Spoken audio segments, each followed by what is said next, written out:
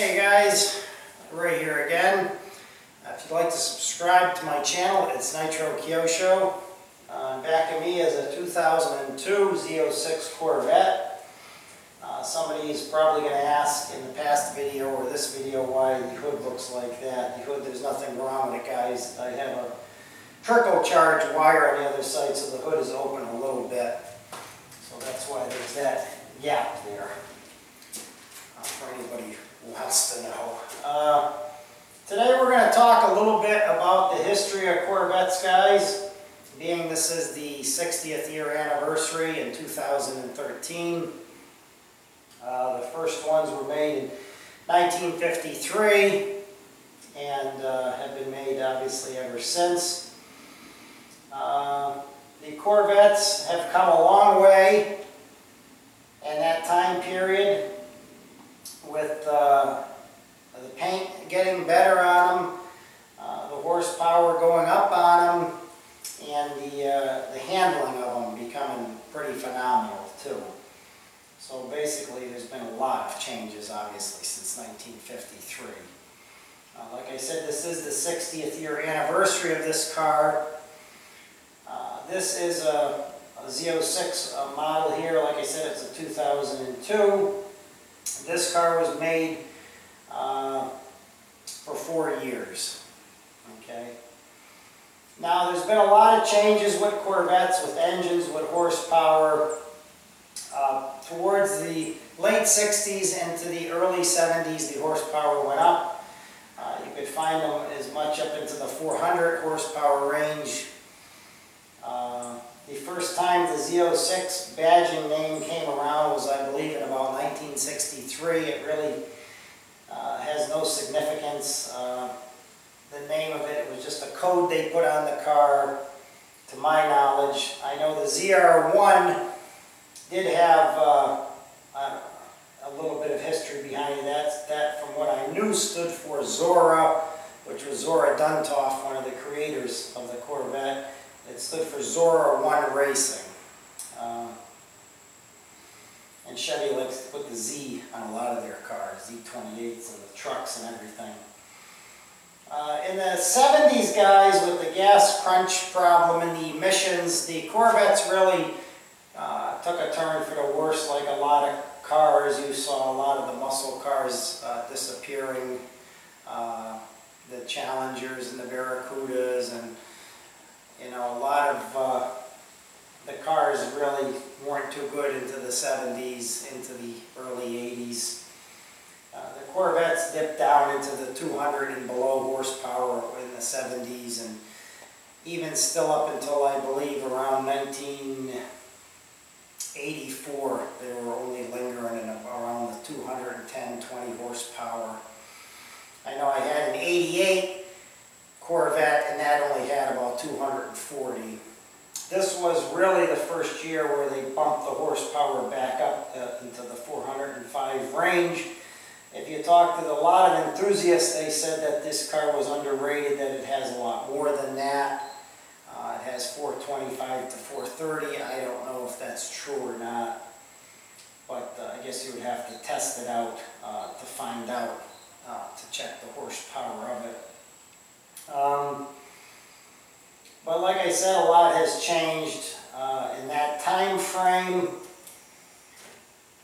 Uh, even from the 80s to now, the handling has really been phenomenal. The increase in handling. I thought my 88 handled really nice.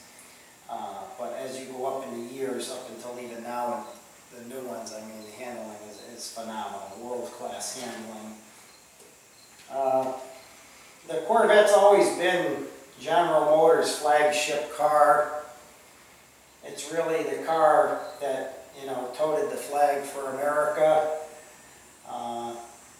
Really never had too much American competition until the Dodge Viper came along.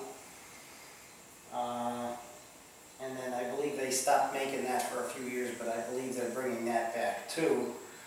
Uh, so they'll be back to an American competitor.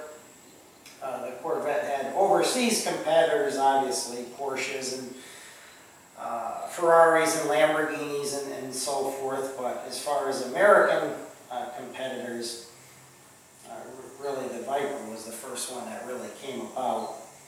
Uh, the Corvette, uh, to much people's surprise, guys, it was never considered a muscle car. Uh, it never was rated as a muscle car. It was a sports car, uh, according to a lot of enthusiasts. And, and uh, the history of cars, you have to have four seats in a car to be considered a muscle car, which would be a Z28 Camaro, a Ford Mustang, uh, Barracudas, Challengers, GTXs, and, and so forth, GTOs, and all those type of cars, uh, which you could actually carry a, a family around in. Uh, these cars only have two seats, so. Uh, but, uh, you know, with the advances from coming from carburetors back in the 50s and everything, and uh, with the fuel injections that they have now, uh, the better.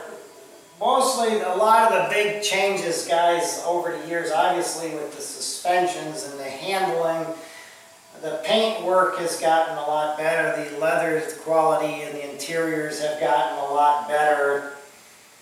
Uh, and uh, there's just been changes in every form from under the hood to underneath to inside. Uh, and uh, in my opinion, they keep getting better. Uh, the ZR1s now up in the 2012, 13 year range, present day now have about 738 horsepower, which is, is phenomenal. This car uh, weighs about 3,100 pounds and it has, like I said, over 400 horsepower and it'll throw you back in the seat. I couldn't imagine having almost double that with a 738 horsepower car. That's, that's insane. Uh, I don't know, you know, when they're going to top off the horsepowers. I mean, you're basically over NAS, NASCAR power horsepower now. and on the street, uh, which uh, you really have to know what you're doing or it can uh, turn uh, bad very quickly um, messing around with a car with that kind of horsepower. Uh, so you definitely have to be careful. But uh, like I said, I wanted to put a series of videos out talking about Corvettes and a, and a little bit the history of them. Uh, and everything that really has improved, like I said, to recap, I mean, uh, the horsepower has gone up, the paint work has gotten better, the handling has gotten better. The, over the years, the tire quality, the company's making the, the tires, the Goodyear tires, the rubber has gotten better, softer compounds can handle higher top speeds. Uh, and uh, if you ever get a chance to own one of these cars, guys, they're uh, an icon, a piece of American history, and uh, definitely, uh, definitely an awesome car to have and to own. Uh, but that's about it for this video, guys. Uh, like I said, I'd like to put some uh, more in-depth videos out uh, talking about the, the history of Corvettes. This is just basically been a little basic video uh, that I'm making, just giving some little information here and there.